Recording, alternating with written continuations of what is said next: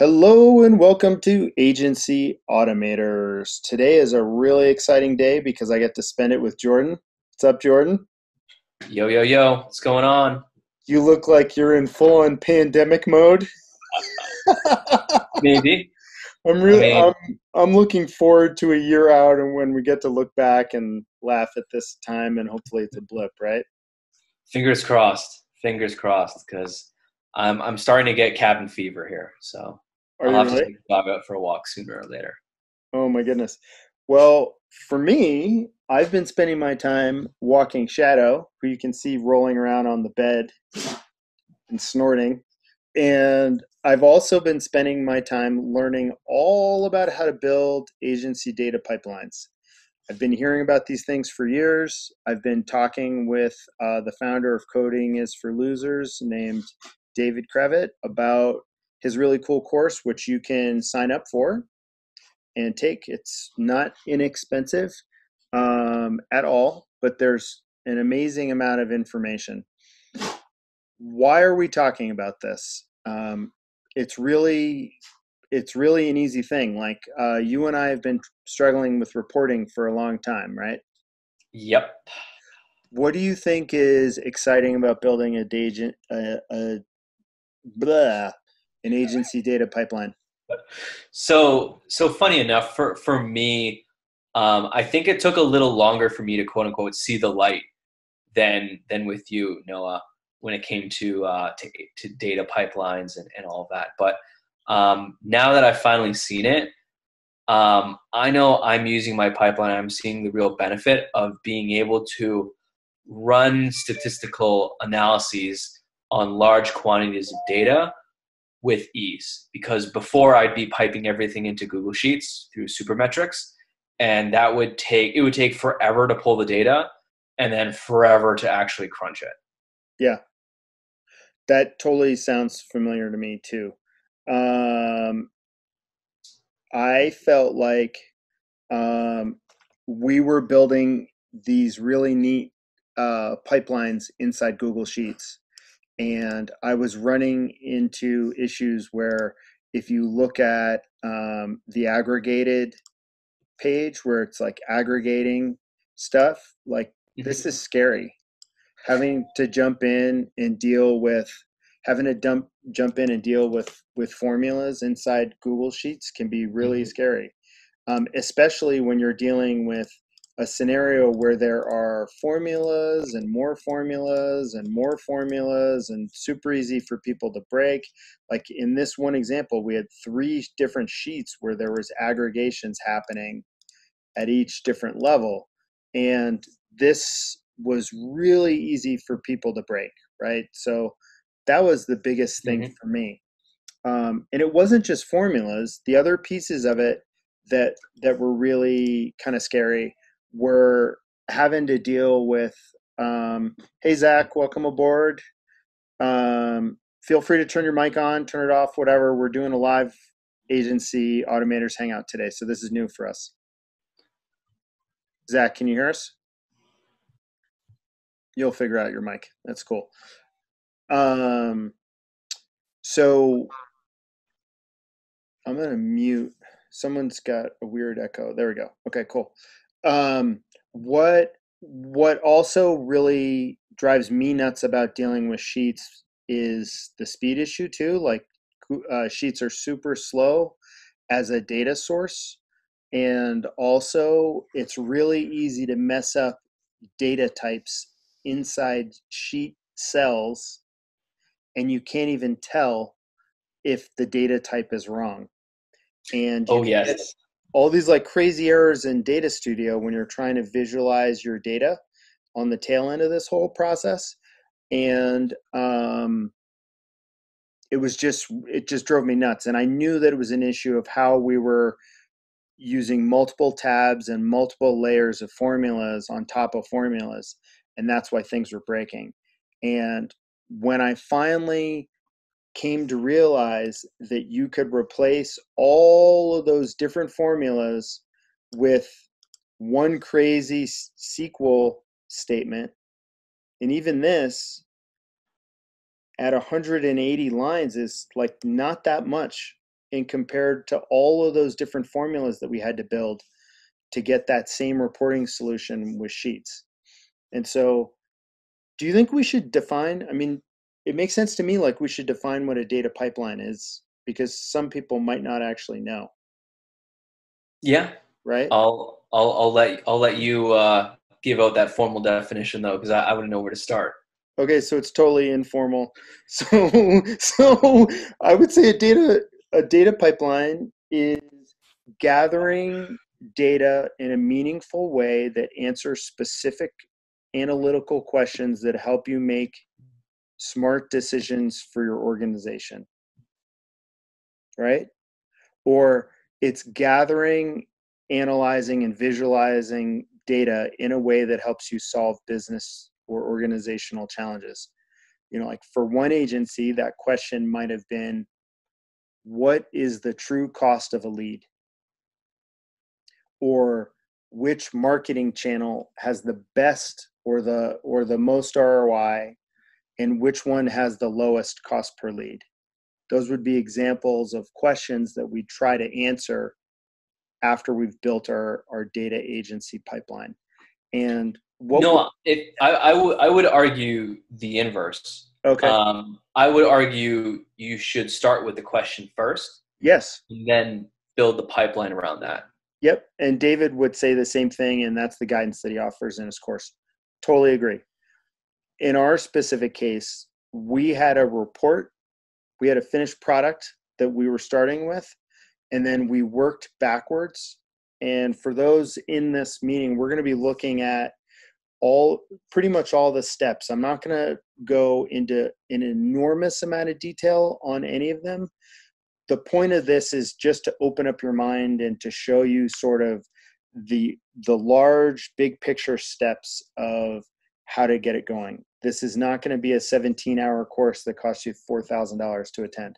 It's it's more of a high level introduction.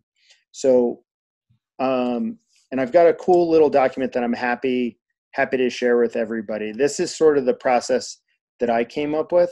Oh boy, data visualization royalty has entered the room. Hey Lee. Uh, so when you there he is. Here's the man, the myth, the legend, Lee Hurst, the one we all love, look up to.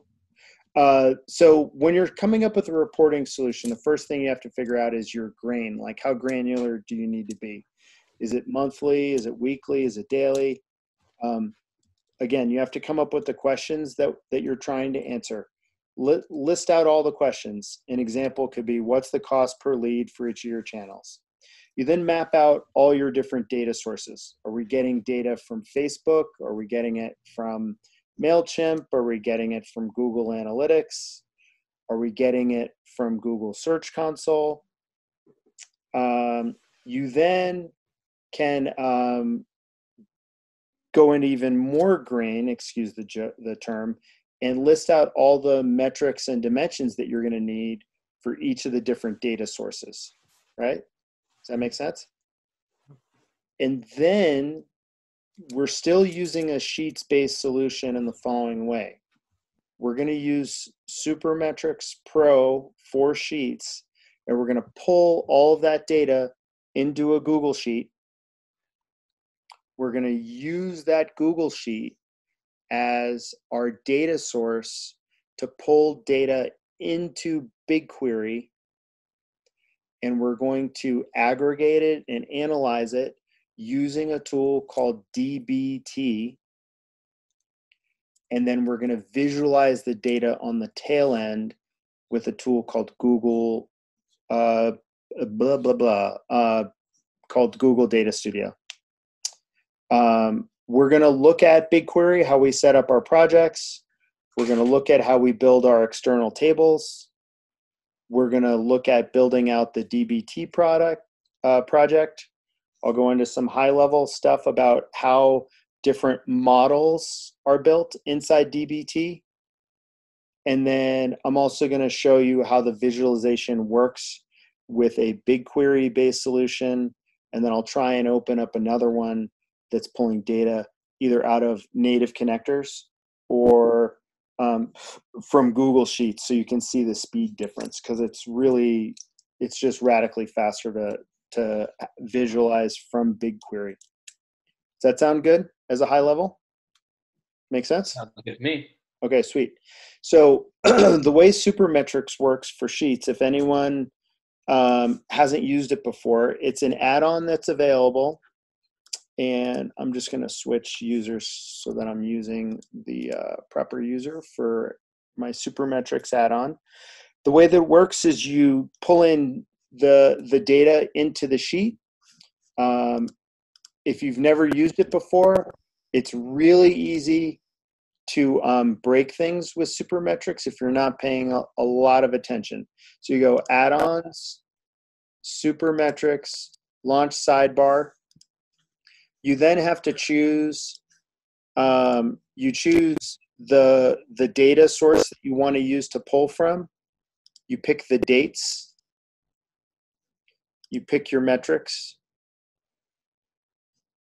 You also have to figure out how you want to split the data up, and that um, will will determine how uh, how the columns and which columns the data goes into.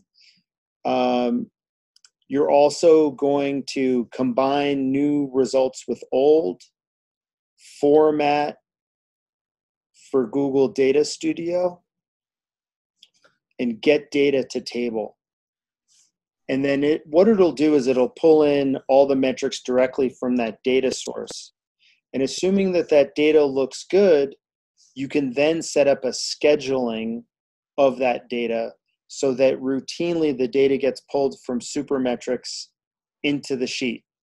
So if we're doing it for um, our grain or how often we want to report is monthly, we could run this every month to pull in the last month's data or you could even pull in the last three months worth of data and jordan and i haven't tested this but i think if you check combine new results with old it will update older data that um, that since the last run if supermetrics has new stuff i think it's going to overwrite the data we have to test that um, that's how we get our data into the Google Sheet as our data source.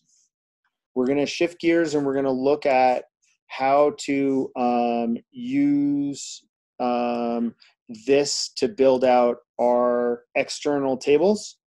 And the reason that we're doing this is that um, each of these external tables is really like a, a placeholder that DBT is going to use to then query to build our final tables. Noah, or, could you yeah. could you elaborate on what that placeholder table is versus a normal table within BigQuery? Absolutely. This, that's new to me as well. Totally, because I want to I want this to be clear for everybody. And I this is like where I go a hat tip to Nico Brooks of Two Octobers because he introduced me to this concept. Um, this is how you do it, um, and this is how they're different, right?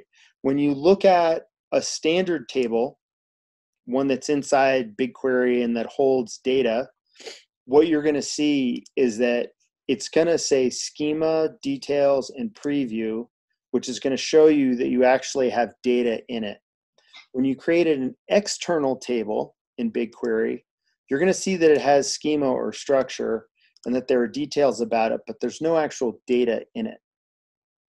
Um, this is how you do it. It's really quite simple to set it up. You click on the data set, which is the parent for that, and then you do create table,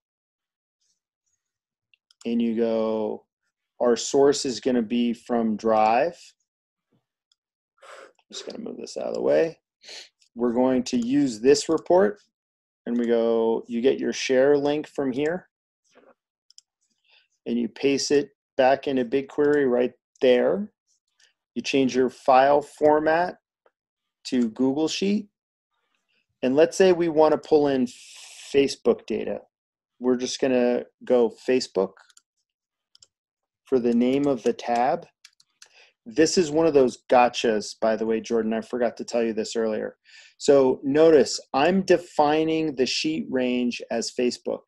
And what it's going to do then is look across these tab names on the bottom and it's going to pull in the data from the Facebook tab. If you do not define the sheet range here, it's going to pull from whichever tab is the first tab on the left. That is such a gotcha, and it took me a while to figure that out. But anyway, so you name your range. You do auto detect schema. You skip one row. So, so the, the, the schema auto detection will essentially take the data type of each column in the G sheet and apply it to BigQuery? Correct. Okay. Gotcha. Number three, there are times when you do this build and the schema is messed up. And the way that you'll know that it's messed up is it's going to say, um, it'll show you the rows of all the field names and it'll say like string zero, string one, string two. Like it won't properly do it. And I found that there are times where I have to define this once or twice. This gotcha, which was um, gotcha number two, is really critical. If you if you don't add that header row to skip, it won't pull in the column title. It'll pull in the first row of data as a piece of data, and it'll name all of the columns something random oh. and not meaningful, which is super annoying and messed up, right? So um, so now I should be able to hit, oh, I have to name the table. So I'd go Facebook 2, just for fun. Create table. It now gives me an option down here to go to table. And I can see all my field names. So, so the way this works is that the data never really lives in BigQuery. It's just a reference to Google Sheets, and it lives within Google Sheets. That data, right? Yes, so you don't have to pay for the BigQuery storage cost for this. Right. Nor the um, so it's real simple that way. And we're not worried the downside like if you wanted to be super simplistic, you could use these as the source files mm-hmm. to then have my um, to to have my DBT query off of to build all the data. But I didn't want to do that because I felt like um, I'm not sure why, but uh, let's go through that and I'll I'll explain what I mean as as we go.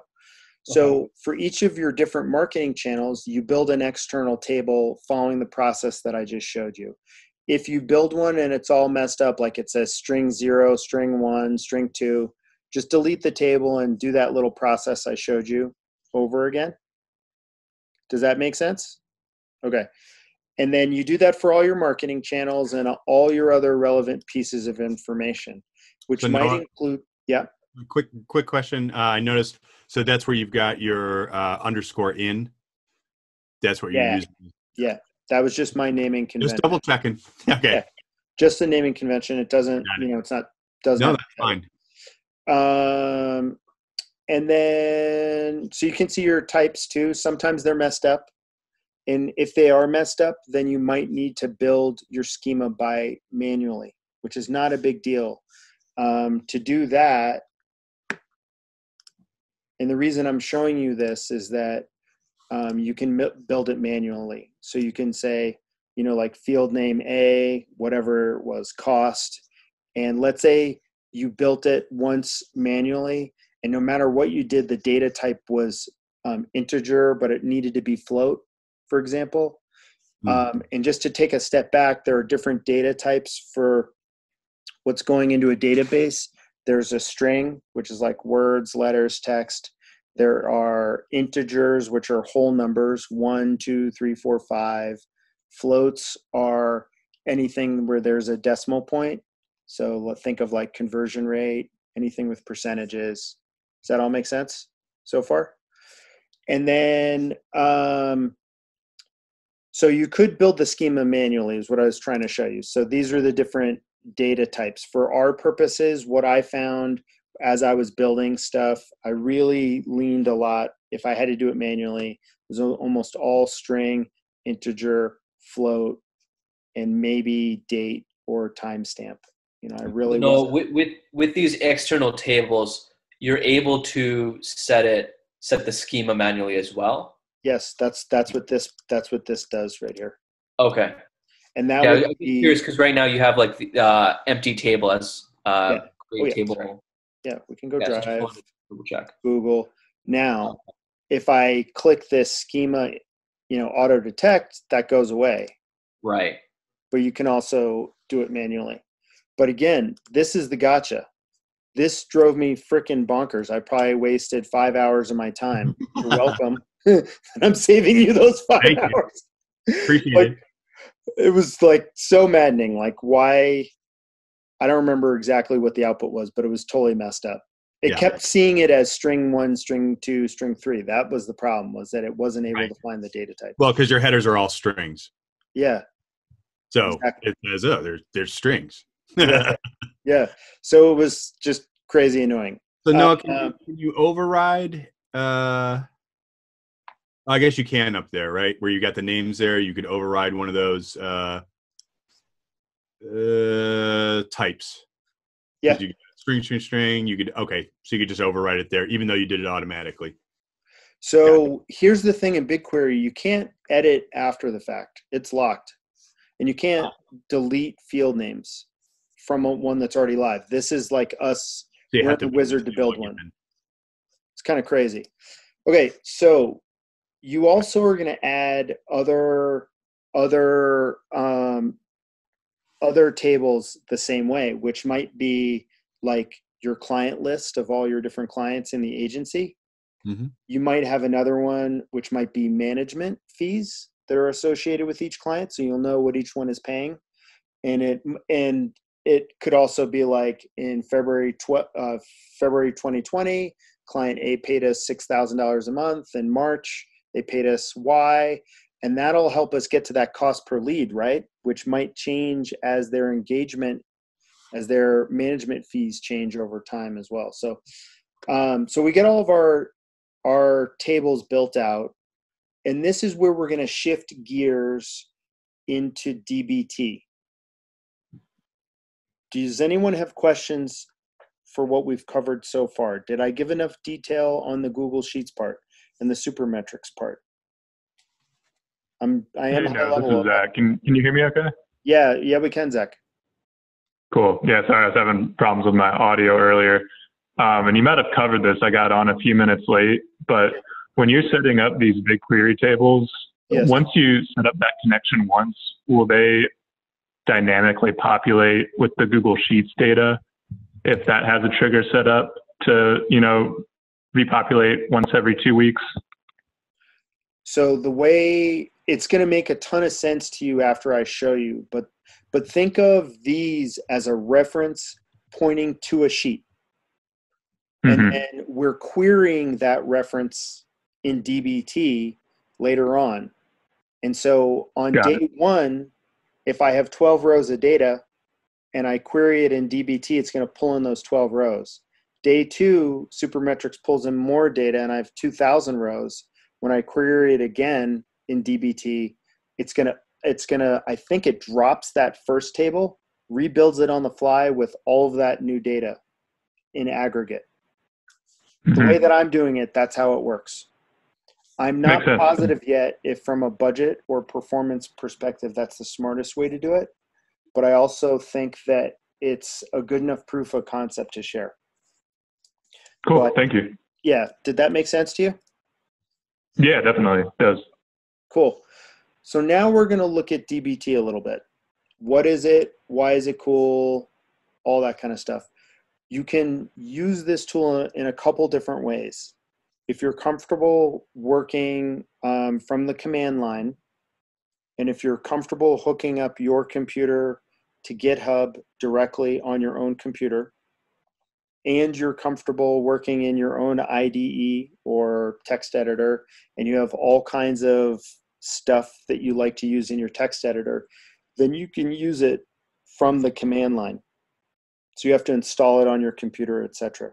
You can also use something called DBT Cloud. I personally think DBT Cloud is the bomb. And the reason why it's so cool is that you can set up cron jobs to get it to run like what you asked about, Zach, which is to, you know, on month one, pull in data, month two, pull in data, month three. And I'll show mm-hmm. you how those automation jobs work in just a couple minutes. But, so Noah, it's it's kind of like a, a programming layer on top of BigQuery then. Correct. And okay. to get more granular or more detailed, DBT is built on Python and it generates all of the SQL queries for you from things called models. And as you spin up a data pipeline, you can build a master one and you can store it inside your own GitHub as a private GitHub repo. And then when you build a new project, you just import that GitHub repo and you can change some config lines in what's called your project YAML file to match your client name here. Let's say I'm changing it to Acme, right? Acme. I would then change this to Acme. I could then change my client name to Acme because this is just a variable declaration area so that in other in different places down the road what you're going to see is that I have these references which will look familiar based on whatever programming languages you've used in the past for where these different things will come in and I'll show you an example of that. Okay, so all of the work that I'm going to be doing are inside things called models. And the way that DBT is conceptually organized is that you're we're querying those um, external database tables from BigQuery using these things called models. And this should look pretty simple to you guys. This is, um, I'm configuring this specific model so that when it's built, it's being built as a table. You can also have them build as a view you can have them build as some other different types of models, but we're just going to use a table. And this should look really simple for anyone who's done SQL before. Select all from, and this is where it gets really neat. Do you remember how I had in this, I had my client name, my clean client, and my profile? Well, you'll see here that I'm pulling in the variable client and then let's say I'm building project number two. So instead of CAM Solar, I'm doing Acme. When it goes to build that data set inside BigQuery, instead of putting it in CAM Solar, it's going to put all of those brand new tables into Acme. How cool is that? Is that pretty sweet? Huh. So it's like create once, duplicate forever type thing. And all yeah. you need to do is change it, change the YAML file. Yes. Now, you asked about goals. Well, how did you solve the whole form field and client A is goal one, and form field and client B is goal two? Um, you can solve that by doing SQL queries here or creating what are called models, or you can do that at the visualization layer. I think it's easier to do it at the data studio level. Like let's say we know that our form fills so happen to be goal one, four, and seven. It's pretty easy in data studio to just create a create a field that is, you know, goal four completions and goal seven, goal eleven, or whatever. Okay, so the this is kind of like a um, um, the company that built DBT is called Fishtown Analytics, and they're in, in Philadelphia, and they have um, their philosophy about how to do this is that basically you have source tables, right? Those are my external tables in BigQuery. I'm then going to query them with my models, which are going to um, build those real tables in BigQuery. And then I can query these tables with like my big analysis table. Do you remember I showed you that huge that huge SQL query in my text editor? Well, this is where um, that's where this query comes in and is asking queries of all my other tables. I suppose I could have had these all refer to, I could have had them refer straight to these um, external tables, but I feel like one of the major benefits of DBT that I'm not using enough at all is the ability to normalize and prep and clean your data on the input. So it gives me an opportunity to like normalize date and time zones. It gives me an opportunity to deal with null values or blank values. And so that's why I think that it makes sense to do it this way. Before I was like, oh, I don't know, maybe I should have done it. But really, I think it makes sense to do it this way. So, um, no, no, a quick question. So, Yeah. um, you these queries. So, like this Facebook one right here, it's Yeah. querying the uh, external table Yeah. to create an actual internal uh, BigQuery table, correct? yes.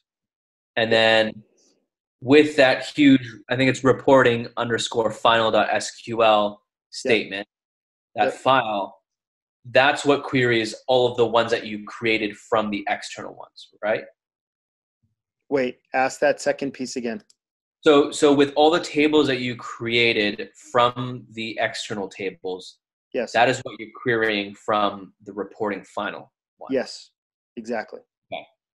And the beauty of it is that when you start to query models with other models, you can replace these super ugly left joins with references that look like that look like um, where's my Facebook one? Where's my Facebook query? Which look like this. So instead of having that super ugly left join, I could have just have it reference another model, which is really brilliant, I think, because it'll help you keep everything modular and easy and simple. But anyway, so this is Noah, it, yes, uh, just a quick question. So I get you're uh, basically creating a new table here. Yeah. Uh, and you're materializing it. Is it going to be called Facebook? Because I don't see any. Uh, uh, Great question. definition of the table there. So the thing that's cool about this is that whatever you name these models, Okay. that's what they call them. That's their nomenclature. Whatever you name the model is what's going to be output as a table. Okay. Just double checking. Isn't that That's cool? I, I kind of figured that. I'm like, let me just double check that. Yeah. So, um, all right. So this is the Facebook one. Then I have Facebook Trends, and this one is so that I can get reach because I couldn't just do that one Supermetrics pull and have reach in the same page because it'll double count users who might look at campaign A and campaign B. Mhm. Does that make sense, Lee? You're not, you're not, you're not jogging your head. I think I, I think I found. Okay, cool, good. So uh, Facebook Trends, Google Analytics data. I wanted to get goals in separately. GMB data, Google Ads, Mailchimp. This is where we're getting our management fees. Um, I also had to deal with a cast issue where I didn't want to rebuild that source, so you can always cast it again. You can cast it as a instead of it being an integer, casting it as a float. Okay. Um, and um, Microsoft data, their reporting client list, and then um, form data that was going into a separate Google sheet that had um, monthly insights, which I'll show you on the visualization. We then build, in terms of how DBT recommends that you build stuff, they they would say that you would probably put all of these queries, the Facebook, trends, GA, GA goals, GMB, ads, MailChimp, management, Microsoft, list, reporting wins, all of these should go inside the staging folder. Mhm. And then anything that's like um, that relates to business processes or um, I think the analysis, I, I couldn't quite wrap my head around that one piece, but like my final stuff should go into the Marts folder. And these are things that I manually built. Um, this is how you build folders, by the way. Inside models, you would click new file, and then you could say like um, Marts one. And for me to build a folder, I have to build a file in it. And you would give it a file name, whatever, sile.sql. Um, and it has to end in .sql uh, if it's going to be a model, i.e. a query. So you can't create an empty folder. You, Yeah, you can't build an empty folder. And I don't think you can drag and drop either. Like I couldn't figure out how to how to drag and drop. I don't know why that isn't in place yet, but you know, they'll figure it out. Um okay. Now, here's the cool part. Watch how how it all works. So I'm going to delete I'm going to delete some tables here. Just so you can see it working.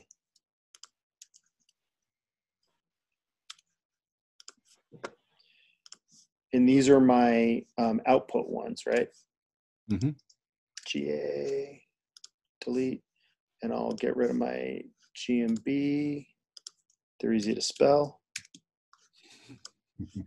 And then think of this as the command line down here. And there are different flags that you can do. Like if I just want to run one of the models, Mhm. I could I could say mo- uh, DBT flag models and then use the model name. I.e., when I'm running DBT, it basically is deleting the old table, rebuilding or dropping the old table, and rebuilding it on the fly. Um, for this case, though, I do want to do DBT run, which is to run the whole thing because we deleted a bunch of tables, right? So I go DBT run. We then get to watch it going. You can see the logs as it's building all those tables on the fly. You can get details of it, of what's happening, how long it took.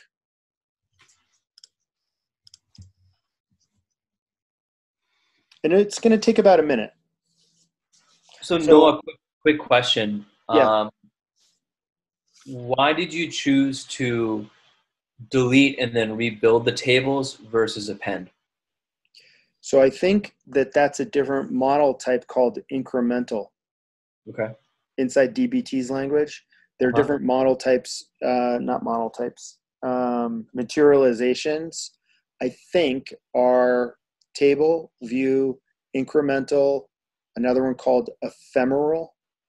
I think the incre- incremental makes sense for what you're talking about, but I Mhm. also felt like um, you're dealing with like merging data and stuff like that with the incremental. And this method was very easy for me to execute. All right, so I think it's run all my tables now. I can go back into face into uh, BigQuery. This is my data set that they were all pushed to. Remember, these are these were all the tables. We deleted a whole bunch. Mhm. Now I expect to see um, Facebook rebuilt, GA rebuilt, and GMB rebuilt.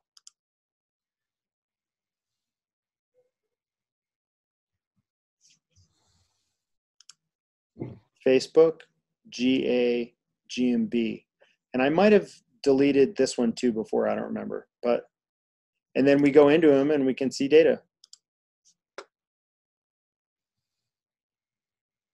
That it built on the fly. And then what's super baller is that this is what um, that reporting final looks like as a data source. like all the fields that we're pulling in. Um, the month, ad spend plus management, which is like total cost, all goal completions, all paid. So it's like grabbing all the marketing channels together, all the all the combined clicks, all the combined CPC, CTR, combined impressions, cost per lead, which aggregates it across all your channels, which is pretty cool.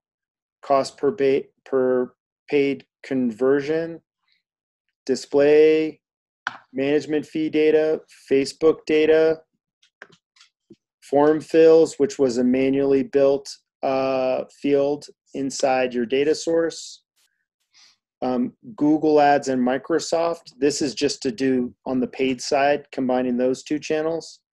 There are other ways to do this, by the way. I, I get all that. It's just I wanted to make it simpler. And what I liked about this was that, and I, I'm not done, like there's more iterations to go, but I assume that I can get this all down to one data source per client, which would be really a great way to build a report. Like you wouldn't have to pull in like a report per channel. You'd have to just pull in one. So I have all my goals. I got all 20 of my goals. I got my goal conversion rate, more of those combined paid search ones of Google and Microsoft. Um, Google just search. So I got my search clicks. So I'm not worrying about filtering anymore. I'm doing all that filtering up in DBT Cloud. Um, micros and the filtering of course is what breaks our visualizations you know when you're dealing with blends and all mm-hmm. kinds of sheet stuff. It's like stuff gets broken all the time. Um, paid search um, more form fills total ads costs and record count which i would probably disable. But this is the real benefit as far as the way i see it. I mean it's just everything is just crazy fast um, on the reporting side I've already looked at these, so these are cached, but let's go to page, I think nine was the last one that you and I looked at. This is, I mean, that's pretty fast, don't you think? And like to get this stuff where you're doing combined impressions, where you're combining that for multiple different marketing channels, like that's hard to do combine clicks for multiple channels, total ads cost, combining them all. And then here's the, here's the big one is cost per conversion. How much is my leads? What do my leads cost? And that's hard to get, you know, compiling or aggregating all that together. Um, yeah, the speed thing is really neat to me because I'll be walking clients through data yeah. studio reports that are pulling from sheets sometimes, and I'm like, before the call frantically trying to click through every page to, to get it to start loading. Yeah. So that, that's really cool. Did this walk through? Oh, there's a couple neat things on this report that I would show you guys because you probably hadn't thought of doing it this way in a data studio report. Um, let's say you're going to be swapping out account managers. Oh shoot. Well, I'm going to gray this page out when we when we go live anyway. But what you can see is that their email address is uh, attached to different roles. Let's say someone leaves the company, you'll you would have a way of having a Google sheet in the background. You know, like we have a reporting list uh, Google sheet where it has column A is client name, client uh, column B is dig, you know the DMAM client uh, column B is the PPC person you know the next column is your content person or whatever column d is content. And then there's also like another column for the for the client logo another column for uh, others you know there's other reasons to have it but i thought you would think this is neat. So it updates over time. You only have to maintain who's working on what in one place. And then you can also pull in a glossary um, which is in that same thing. So let's say you want to change what CTR is or how you define it, you can just edit that in one Google sheet and then use that as, as a source for all of your different client reports. Um, and then the other thing that I think is pretty cool about how we built that particular solution is the use of a form. A lot of times people will use custom text. Um, they'll use um, a custom custom oh, come on now.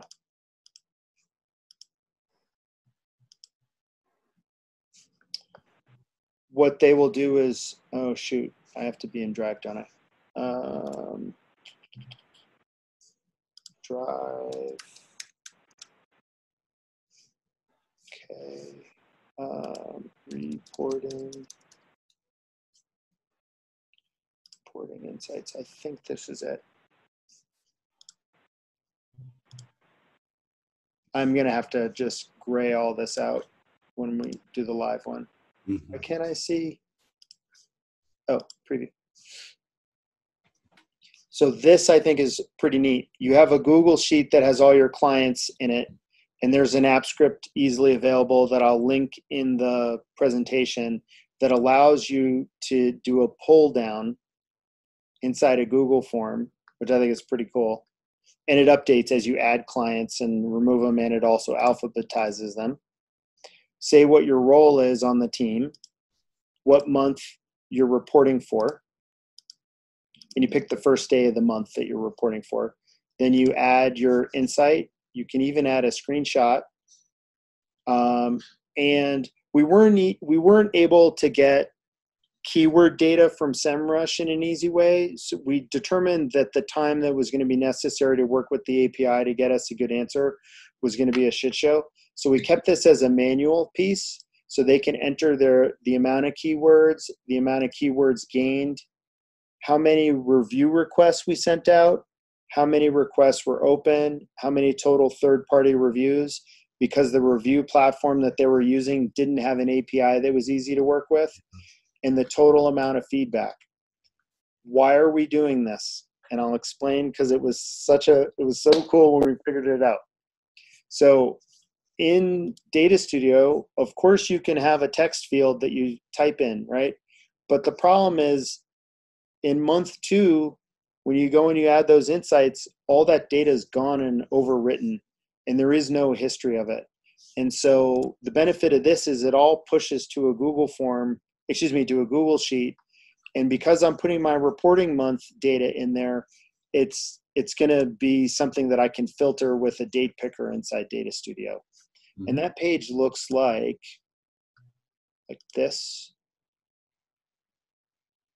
This doesn't have screenshots, but it just gives you an insight.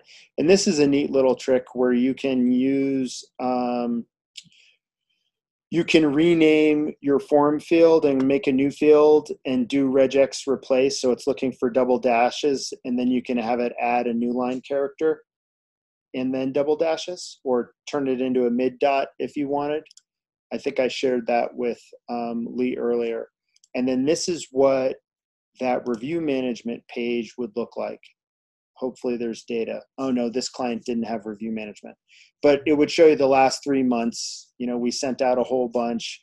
These are the amount of requests we sent out open third party reviews. So it looked like meaningful data if they actually had entered it. Um, pretty cool right? Oh Yeah. here's another neat one. Lee i don't know if you've done this. It drives me nuts that you can't have something like Right. just a, a form field where you can have a Values. yeah date values in a in a chart Right. you know a little uh what do you Yeah. call it um so i i have a formula inside a google sheet that's pulling in you know this month minus one and doing the same thing for the year and it accounts for you know when when i'm going from january back to december of the previous year there's a formula that does that as well. Um, this normally would have the client logo. For the purpose of this presentation i got rid of that image just so you guys don't have to see their client logo. No, that's nice. um, i'm not presenting this as fantastic typography or tamp like non-data pukey data visualization. The point That's is really fine. just like how do we get this whole beast to work together as a system lee we've come so far I know. isn't that I awesome know. Yeah. so uh, yeah, the um, couple of couple things that you may be interested in, uh, and that I noticed while we were going through this. Yeah. Um, you can put in multi lines in Google Sheets. Yeah. Um, Yeah. I think on your import though, I think there's a thing that says uh, use new lines or look for new lines, um, or, or treat as new lines, something like that, on your uh, uh, string input. So you wouldn't have to necessarily replace with a new line character, although you can. Yeah. um, uh, which allows you then to you know, so you know my uh, Google Data Studio resource center. Yep. Uh, those have line breaks in them now, and I do all my work through a form. So I just write up a paragraph and then write a next paragraph and format it there. Um, ever since I convinced Google Analytics to actually make line breaks, um, it works great. yeah, yeah, So you can do that. I like the idea though of also. Um, I think the one thing that it doesn't do really well is um, uh, special characters, Yeah. which you kind of had there, and I'll bet you could even do crazy stuff like emojis. yeah. Um, like replace this with a, you know, green triangle. I think I did that somewhere actually. Um, so yeah, so you can actually use uh, uh, kind of graphic characters. Yeah. if you wanted to. Um, so that's a possibility. Uh, c- Can you show me that? Um, uh, it was the report that you had all the people on. I think it was the thank you page or Yeah. the page just before that one. I like the glossary idea, by the way. That that's a great. I hadn't thought about doing a glossary, and that that just makes a lot of sense. Um, so that last part, like your circle, your energy circle management team. Yeah. Um, it's so that's dynamic. No, that's hard coded.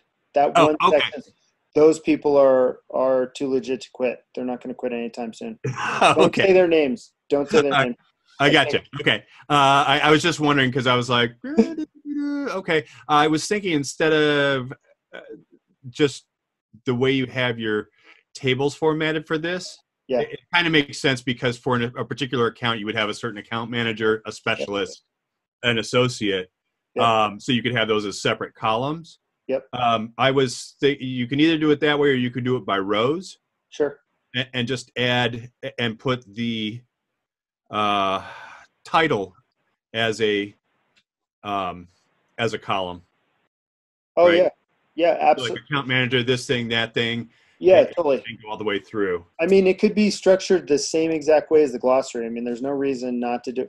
That what I was dealing with was um, the other agency had typography that I was matching, and so Uh, uh, I got you. you know what I mean. Like, so they Yeah, had a, a pre-existing report through a different reporting tool, and I was just getting this to match that instead Yeah. of.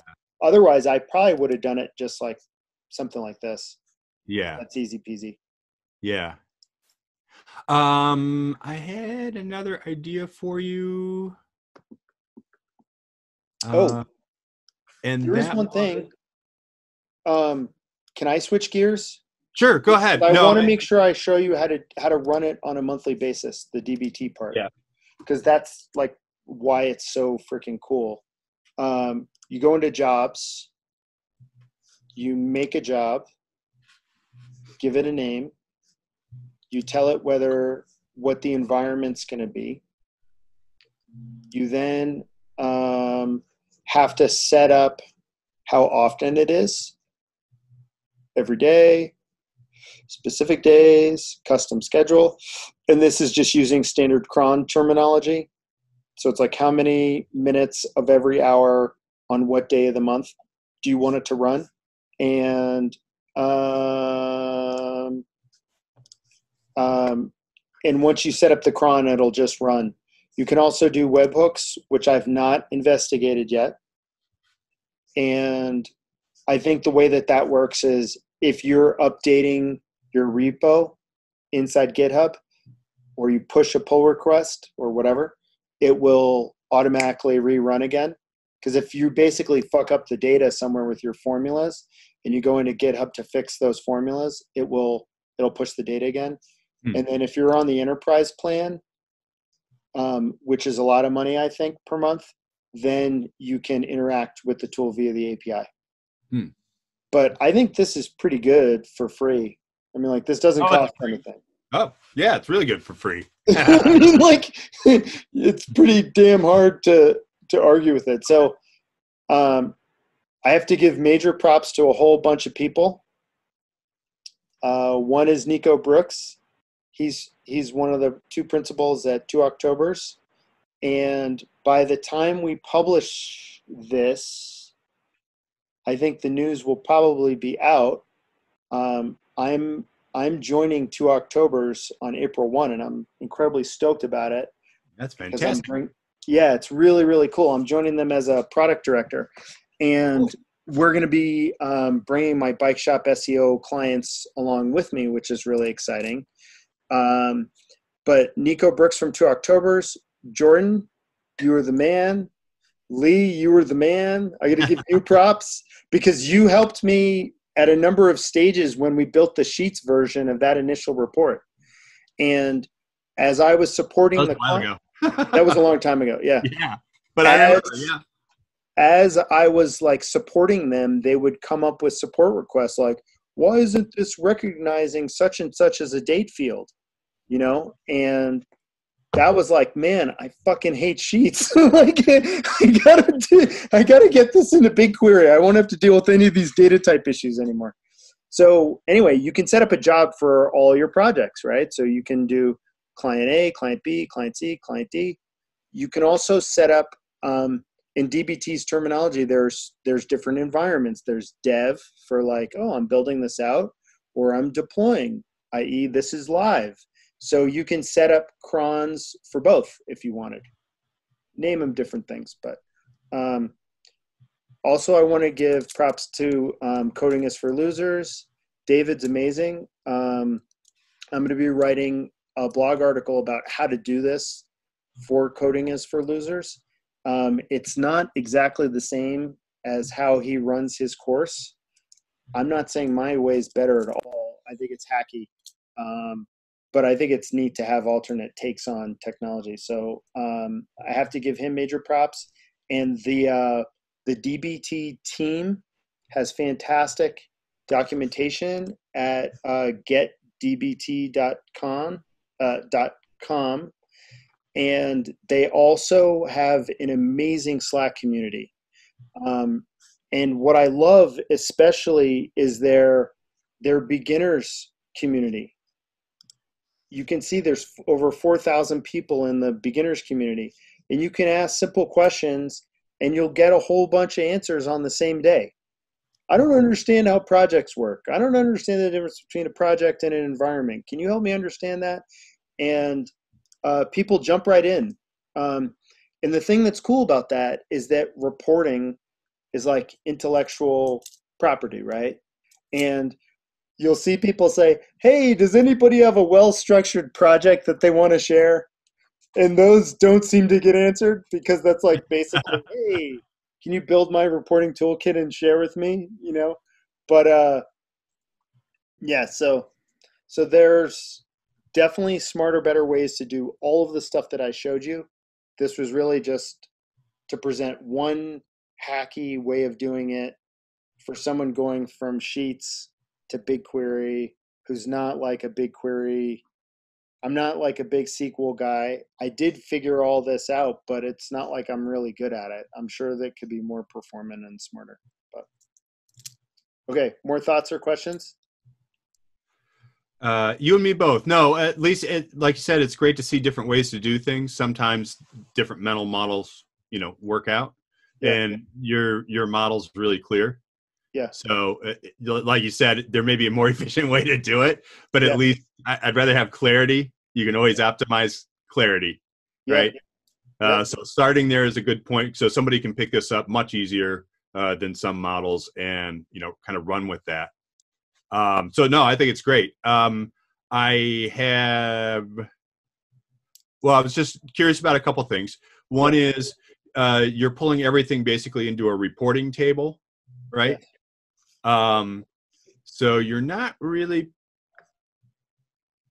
And my understanding with BigQuery is you're only paying for pulling data out. Correct. And you're not paying, I don't think you pay for visualization. And you also get a terabyte of queries a month, Right. which is a ton. Right. Yeah. I mean, for for what you're doing there, um, uh, because you're basically going by day. Is that correct? Uh, month. And check out. Oh, you're going by month. Oh, okay. yeah, yeah. watch how much data this queries. Oh yeah. Select, select all from. Um, let's see. I want to go um, cam. Whoops. And you can go cam solar Oh, that's nice. Yeah. reporting final where month is not null just cuz and it'll tell you this this query would have cost 14.5 kilobytes and Right. that's just because there's a lot of columns it's really right, right, fun. right, right. Yeah. So I had um, a couple uh, just ideas yeah for you. yeah Um, one, of- so that's cool. No, no, no worries there. Um, that's all good. You could conceivably connect that table back out to a sheet and report off of that. yep so you wouldn't have any or, or very little uh, actual query stuff because you would be querying against um, the sheet as opposed to the um, as opposed to the report. That's one one idea there. Um, the other what's Thing- the benefit of that i don't get the benefit when you're making when you're making data studio calls, then you're not constantly calling against the uh, BigQuery. oh right? So when you draw a new chart, you're basically doing a different query. yeah Okay. So you're constantly calling it. So if you dump all the data into a sheet, then you're going to be querying the sheet and you're not incurring, you're only incurring the one cost for the one call. yeah update that sheet. yeah Um, the other possible way to do that is use um, the data extract connector. Yeah. If you've got some, which actually uses BigQuery in the background, but you don't get charged for it. Oh. Which is, uh, and sometimes they'll use the BI engine and it'll go really wicked fast. Yeah. So that that's another possible way to um, kind of. Uh, I mean, you're not coming anywhere near your your uh, costs or anything, and and for the amount of work that it's doing, it's worth paying for some. But Yeah. um, just just some things that you might want to look at. And the last thing I would suggest when you're pulling your stuff in, you could actually pull all your clients' data into a single table like all of it all of it all of it yeah. And then as long as you had a client code on each row you could u- reuse the same report. Yep. So because you can now uh, yeah you, you just could- filter. Yes you can do the filtering right? So Yep. you can pile everybody's data all together and then create a instead of creating a report for this a report for that a report for that person a report for that person have a standardized basically a single report Yeah. and when you send it to them all you're doing is basically encoding it for their um, organization So Jordan, I'm looking at your forehead, and this is this is what I'm what I'm hearing is you have 50 clients, you have 50 final reports in BigQuery, you have another table that queries all of those and joins it into one table, and as it does that join, it adds a client number as a new field in each. You know, it's a new column, last, first, whatever, and then you have one report, which is the master template, and on each page you filter by client. Yep.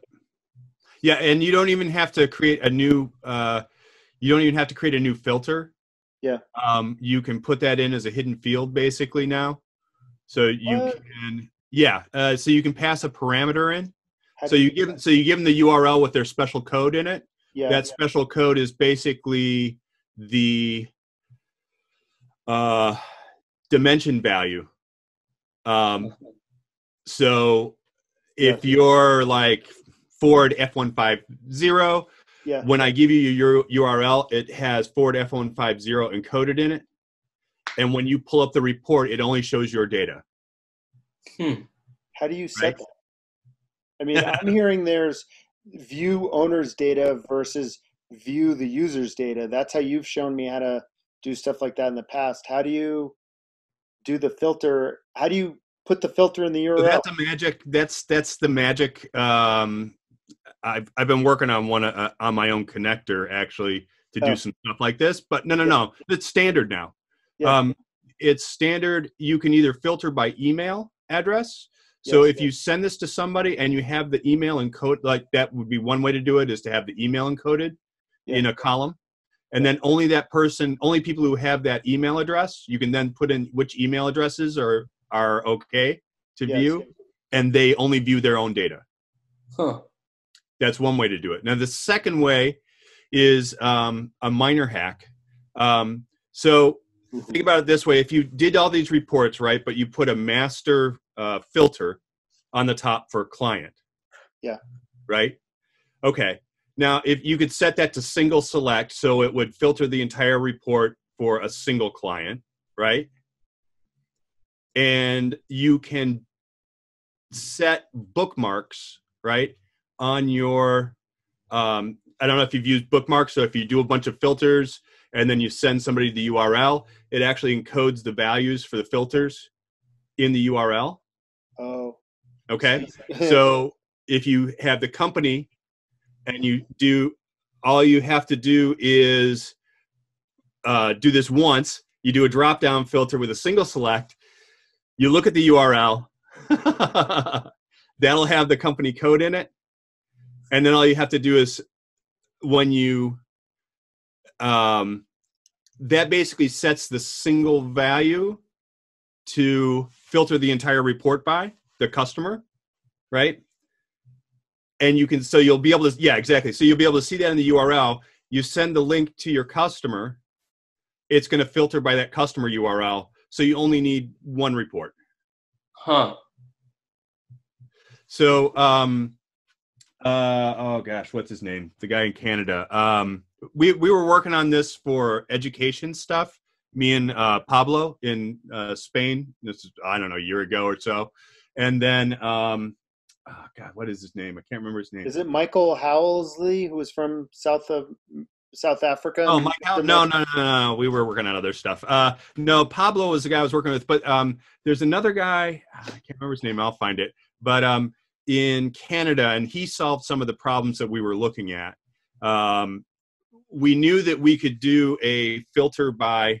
Um, we knew that we could do a filter by doing a single select on a filter and having like a default, or or putting that in the URL.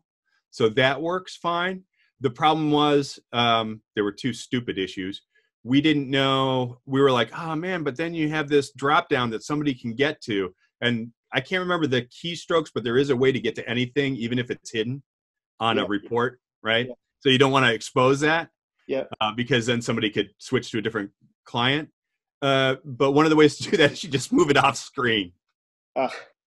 it's like and then they can't do it that's crazy. Yeah, I know. Um, but what, so once you have that um, selector, though, it it will generate a um, a code in your URL, yes. and then you can just replace that code in the URL for a different client, and boom, their all their stuff will fill in. Assuming you've got the client code on every row. Um, Okay. right? So you could have 150 clients, and and like you said, BigQuery doesn't care um, how much how much data it has in there. So you can put a ton of data in there. Also, when you're doing the query, it's going to filter for that. Uh, since it's a global one on the entire report, I believe Yeah. it'll filter for that one customer anyhow. So there's, I mean, I hear everything. there's some you're saying, possibilities there. yeah, you just got the wheels turning as per usual. So, um, I guess I'm trying to figure out how I'd filter because in this specific case, my management fees are filtering by client, that Mhm. table, Mhm. and my reporting client list is filtering by client. And then I have my reporting final table, which you're recommending, not recommending, but you're saying is possible to aggregate across all the clients. Yep. How would I get filters for three separate things into the URL? Or would I make them the same? Like I No, you'd have to have the same key. okay, and it would You need could, one key for your client for each client. But could that one key apply to three different data sources? could that be a field in each of the data sources? Sure. Okay. All right. Yeah. Like so that first part where you were pulling from sheets Yeah. in, either you could hard code a, a client field in there, Mhm. right? Or as you pull it in, you could look for the URL Mhm. and do a case switch or something like that there, or use the URL, the base URL from uh, uh, whatever you're pulling in for the for the or pull the company name from the GMB or somewhere. Um, let's see. So wh- wherever it's coming from, as long as you can add that uh, customer ID onto all your tables that you're pulling together. Got it. Wow. That's pretty sick. It so you got the wheels turning a little bit. So the only thing about your solution, so I like what you're saying a lot. I guess what I have a little bit of a hard time with is how does that account for situations when you're adding and removing clients? I, I'd have to think through that. That's the part where where I'd have to come up with. Well, you're just adding more rows to the table, so Yeah. For your to your final table, or you're going to regenerate your table when you lose a client. Um, you could probably do a view.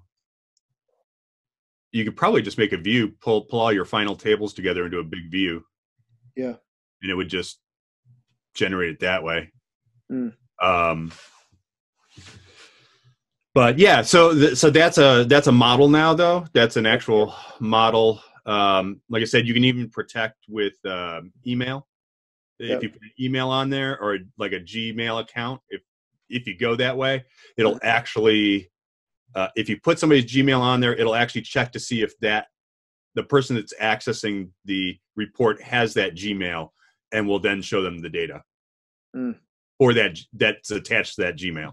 Mhm. Um, but I like the code thing better. It's um, you can come up with a um, you know you can make a single table that says okay uh, if one of your customers is Ford, you come up with some crazy crazy ass string for Ford. So you Hmm. can set up another sheet that does the cross reference between the company name and the Yeah. the um, and the code. Yeah. So that nobody can break the code on the URL that way. Yeah. They can't just put in a customer name. Huh. So have you seen all this stuff or did you actually learn something with this process? I figured you'd get a kick out of it at a minimum. Me? Yeah. Oh yeah, yeah, yeah. No, no, no. I haven't I haven't played with BigQuery that much. Yeah. Um and, and so I it really helps me to see you working with the different tools. Yeah. Uh, and like you said, there were a couple gotchas there that I would probably be banging my head against for a few hours too. So I really appreciate that. That Uh, if this tool is free, uh, definitely looks like something to play with. Yeah, for sure. And uh, the community is crazy supportive. They also have a lot of tutorial videos and tutorial projects. And uh, I feel like I watched videos for two to three months and I built the whole thing last weekend. Like, like it, and the way that it worked was I had that that one sheet. I had, um, I had this final right, Yep. and it has lots and lots of data and Yep. then i worked backwards from here and i matched all of the formulas that were in my sh- google sheet and learned how to turn those google sheet formulas into sql and when i started all i understood how to do was select all i knew select star Hey, no, that's great. I mean, that's that's uh so you went through and you basically built it up kind of like the pyramids. I mean, start Yeah. up with blocks on the lower level, yeah keep building up, Yeah. right? Yeah. Uh, and build up your complexity. Because there's no way to get to this final table without all the pieces. Yeah, and what I so what's funny is I didn't understand that I had to build it like the pyramids. I was like, "Oh, this Was is this it easy." together? Yeah. Yeah, I just joined everything. I was like, "None of this makes sense." What? Yeah. Yeah. I mean, you can, but uh, it's really, it, I wouldn't, uh, just after years of experience, you want to go down to the lower level. So, like you said, you can sanity check each step. Yeah. Right. Because if you get a piece of bad data in there, Yes. um, that's not accounted for, like a string in your somebody puts a Y in your number column, yeah. um, Yeah. uh, then it, you know it's possible for things to go all out of whack. So it really helps to be able to to build those lower pieces first as Yeah. kind of a unit test, and then and then build up. Yep. And then once you're up at that l- upper level and you've got everything done, then you can kind of go nuts. Yeah, and definitely like this took me this big query took me probably I don't know how long it took me to learn how to build it. I probably spent 20 hours trying to learn how to do it. Once I understood how to how to query a how to query a subquery or whatever, I was like oh my god, I can treat all these subqueries like it's a table and I just have to refer to them by that query name. Oh my god, that that was the breakthrough. Um, but anyway, Yes. Well, you're ahead of me then because uh, I, I Yes! hack at SQL. No, no, no. Uh, and I, I, I, when I get SQL, I hack at it and I like figure it out and I can do it. But Yeah, I, yeah. I rarely do anything from scratch. So, um, yeah, no, my hat's off to you there. And that's a great learning. That's that's a really good learning process there too. yep, I think so too.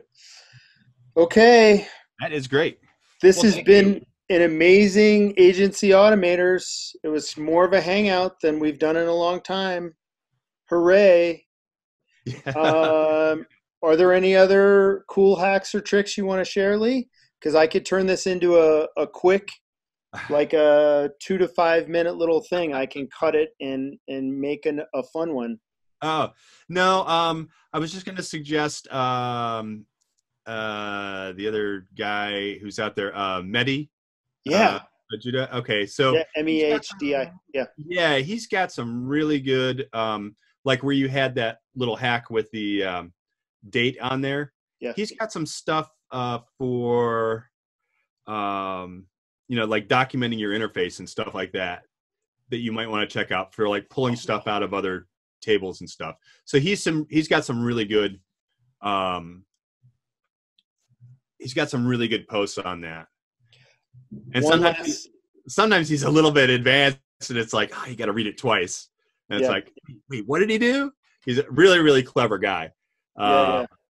so some of his stuff um, is worth uh, taking a look at just some of his little tricks um, are uh, definitely some pretty cool things i'll have to send you the um, the whole idea about the uh, you know using one uh, report for all your clients. Uh, Yeah. Somebody did that for um, God, I can't remember. Stephanie, Stephanie, uh, I can't remember. Stephanie something French. That's cool. up in up in Quebec, yeah. And oh, he's the guy who does um um uh, what is it? Uh, the tool, the plugin tools um, for analytics, Oh, very um, Da Vinci Tools. Oh yeah. Uh, Stephanie Hamel. That's it. Stephanie Hamel. So he came up with this. uh, Like I said, I was hacking at it with this other guy in Spain for a while, and we kind of figured out to, how to do it, but we we put it on the back burner. And then he put out this great post that was like, "Hey, do you need to report for 800 clients with one report? Here's how to do it."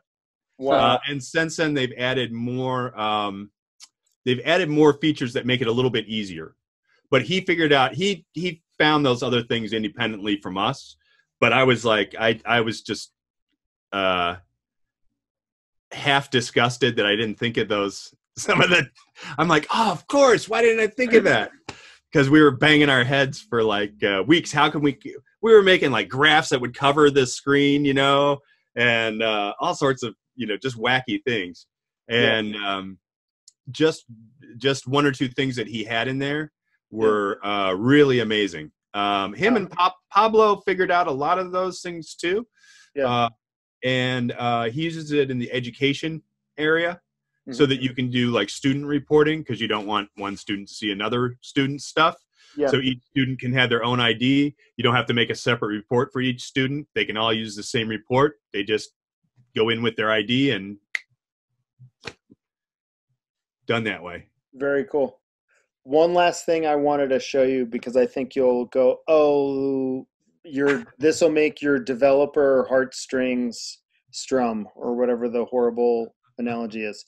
Um, when you run that automation, you can set it up to create docs on the fly, Nice. and it builds the documentation for every one of your models, telling you what all the columns are, Yeah. date type, and the SQL, and your Oh. and your query. Oh, okay. both in the DBT language and in the compiled what's actually happening on the BigQuery side. Oh, nice. Uh, I forgot to show you that before. Very nice. No, Very I cool. like the way you got that stuff parameterized. That was really cool too. I mean, that's that's a really powerful thing. I thought so. Yeah. I was like, I was like, ooh, holy baller! That means I can spin yeah, up a new project and just change the config. Wah! yeah, okay, that's great. okay. Thanks, you guys rock. Thank you. You get you rock. Hang in there. How's everybody doing? By the way, in their little Oh, um, I'm gonna stop recording. Let's keep chatting.